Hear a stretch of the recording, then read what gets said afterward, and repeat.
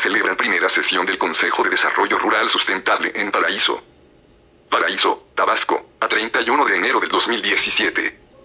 Este lunes se llevó a cabo la primera sesión del Consejo Municipal de Desarrollo Rural Sustentable que preside Bernardo Barrada Ruiz y en su representación, el director de Desarrollo, Julio César Valencia de Dios, expuso las acciones que el ayuntamiento local en coordinación con los gobiernos estatal y federal han impulsado para recuperar la vocación productiva del campo paraiseño.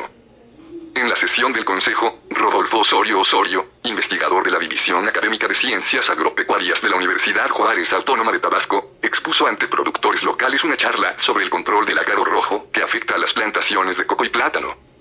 También Edmundo Gómez Méndez, catedrático de esa casa de estudios, compartió sus experiencias e investigaciones sobre el cultivo de chile habanero, tanto en campo como en sistemas hidropónicos, en ambiente controlado y sin suelo, un producto altamente rentable,